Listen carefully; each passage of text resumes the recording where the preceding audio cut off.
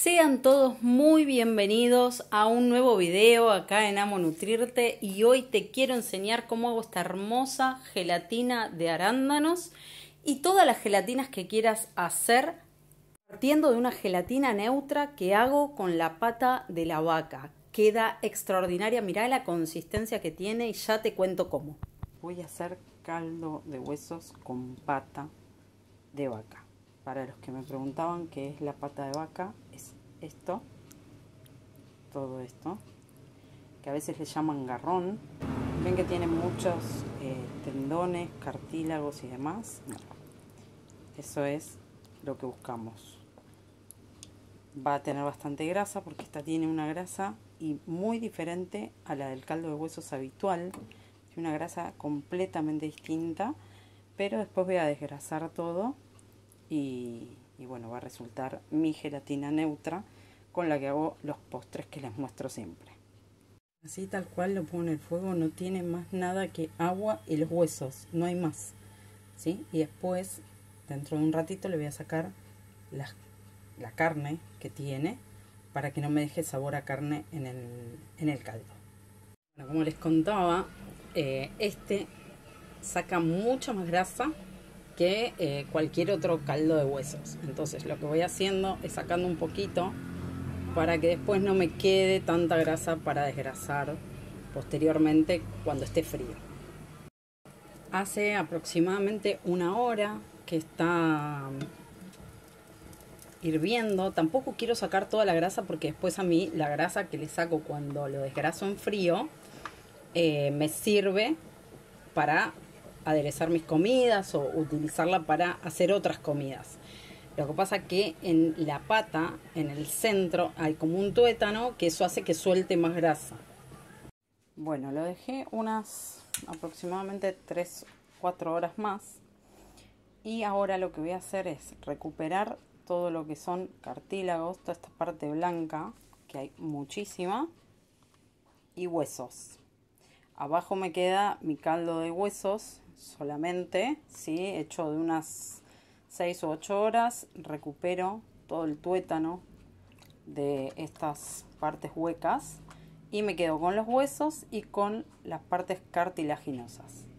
En este todavía tengo el tuétano, así que con ayuda de un cuchillito voy a huecar y me lo voy a recuperar.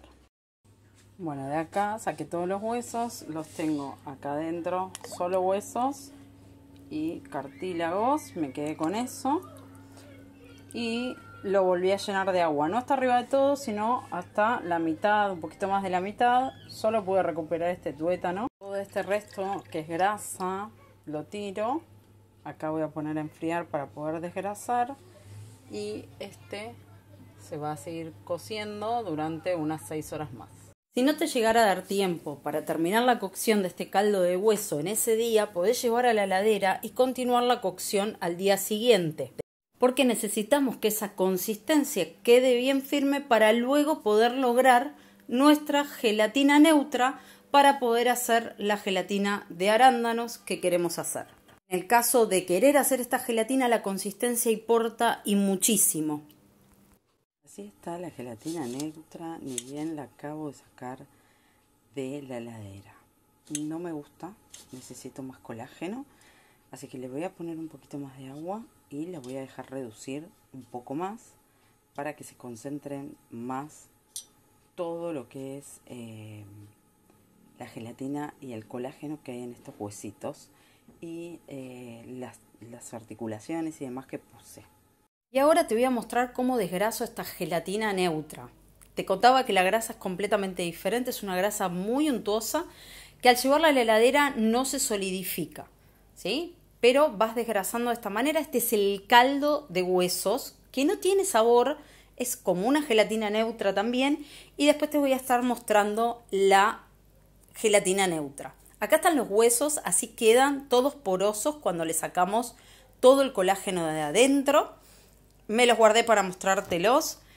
Cuando vas a hacer la segunda cocción tenés que guardar estos huesos para no desperdiciar nada de ese colágeno. También tengo la parte cartilaginosa, los tendones, eh, todo esto que me va a dar mucha más consistencia a mi gelatina neutra. estos cartílagos los voy a tirar dentro de esta gelatina neutra y con ayuda de una mini pimer voy a licuar todo para que se unifique bien. Esta segunda parte va a quedar más blanca, mucho más blanca. La voy a llevar a la heladera y al día siguiente voy a desgrasar esta también. Bueno, y acá tengo el resultado de ambas preparaciones. El caldo de hueso inicial que tenía 6 horas de cocción y la, eh, el caldo de pata que hice posterior. ¿Por qué hago estas dos eh, preparaciones? ¿Por qué no me hago un caldo de huesos solamente, un caldo de pata de vaca o pata de res? Porque si te fijas, este es un caldo súper sostenido. Pero después de esas seis horas, este, estos huesos siguen dándome más caldo ¿sí? y más colágeno.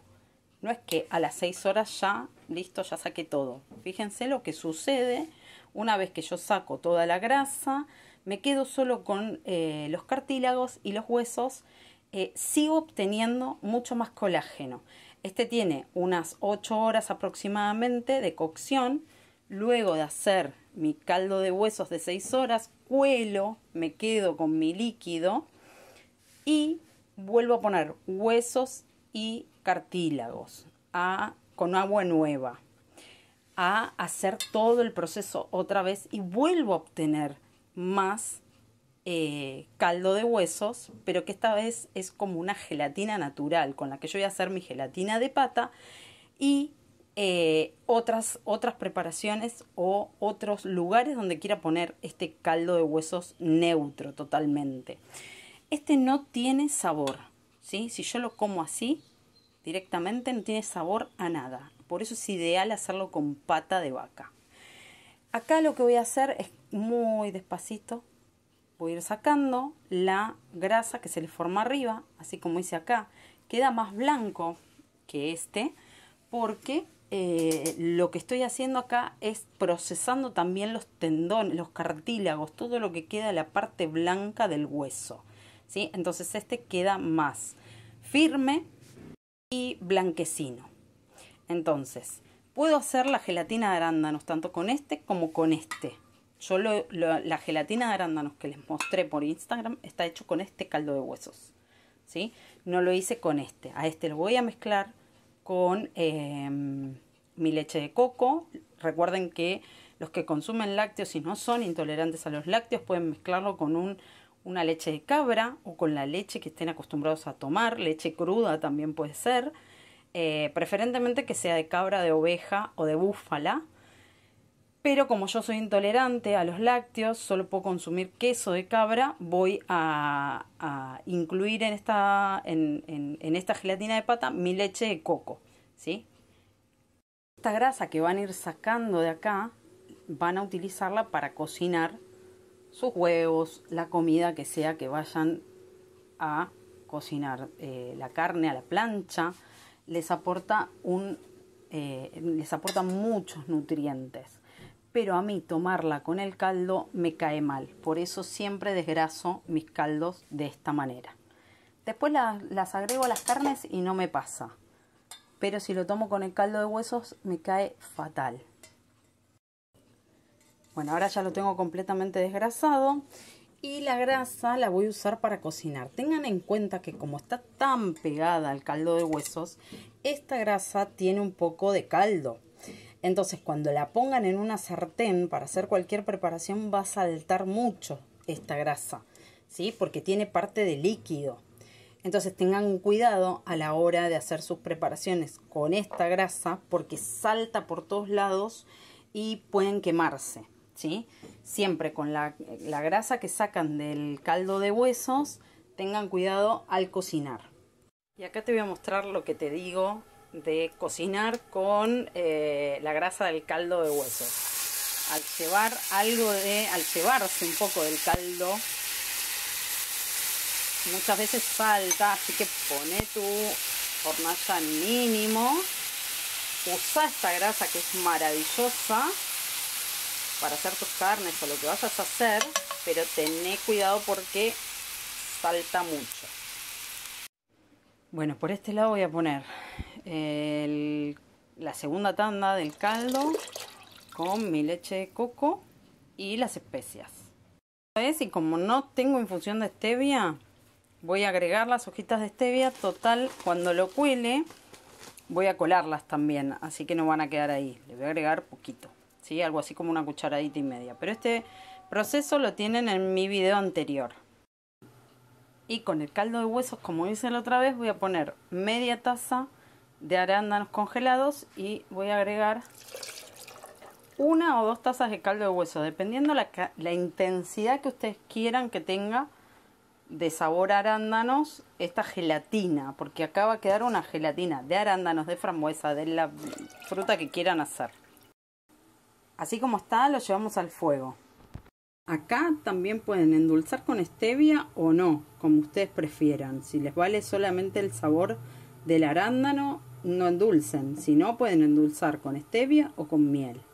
Recuerden que la gelatina de arándanos también lo podría hacer con este caldo, con esta segunda tanda de caldo. ¿sí? Lo que pasa es que a mí me gusta muchísimo cómo queda así con las especias. Queda tremendamente rico. Podrían no calentarlos. Si son arándanos que no están congelados, podrían no calentarlos y directamente usar la mini pimer acá. Yo voy a usar la mini pimer, todo se va a mixear y después voy a colar, así que no me importa si la stevia está o no está. Pero siempre lo hago con la infusión de stevia. Ustedes van a decidir cómo lo quieren hacer. Yo ahora fue un método que encontré porque no tengo infusión de stevia hecha.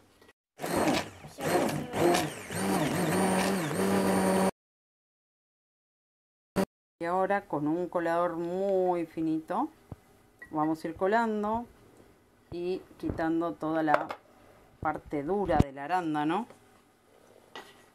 De esta manera nos va a quedar un poquito de espuma y todo lo que sean las hojas de stevia y demás, uy, se me fue un poco adentro, eh, que queden acá en el colador. Y así me queda en mi bowl lista para consumir mi gelatina de arándanos creada desde una gelatina natural que hago yo desde el caldo de huesos y sé lo que tiene. Por otro lado, la gelatina de pata va a seguir infusionando un rato más y cuando ya esté lista también la voy a enfrascar como con la gelatina de arándanos y las conservo en mi heladera para consumirlo de la misma manera que consumiría el caldo de huesos, pero como estamos en verano, nos apetece mucho más una gelatina de arándanos o una gelatina de pata que tomar una taza de caldo de huesos. Espero que este video te guste, te sirva, sobre todo te sea muy útil. Si es así, por favor, compartilo con familiares y amigos para que llegue este tipo de alimentos a sus casas este tipo de alimentos es medicina para el cuerpo y te hace bien. Contame en comentarios con qué fruta se te ocurre que lo podrías hacer vos en casa. Te cuento que con esta misma preparación se pueden hacer unos helados deliciosos que podés ofrecer a tus niños en casa. Suscríbete, no te olvides de suscribirte así no te perdes ninguna de las recetas que comparto. Muchas gracias por ver el video y nos vemos en uno próximo acá en Amo Nutrirte.